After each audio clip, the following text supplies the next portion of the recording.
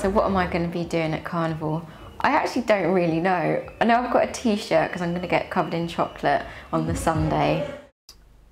I had initially um, filmed on a TV series about Carnival and I kind of became really intrigued by its history and the more I read about it the more fascinating it became um, because it just has this rich history that incorporates European, African, Caribbean traditions but also um, has this darker past um, th obviously through the eras of slavery, emancipation and colonialism so it's it's just a really fascinating subject.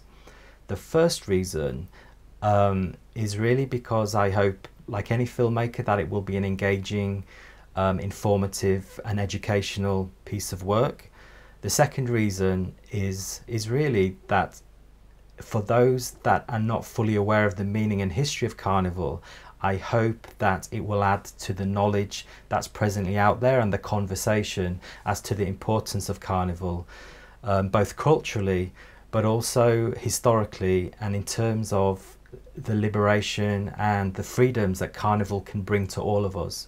Um, I've never been on a Sunday, so I've never witnessed this happening. I'm jumping up.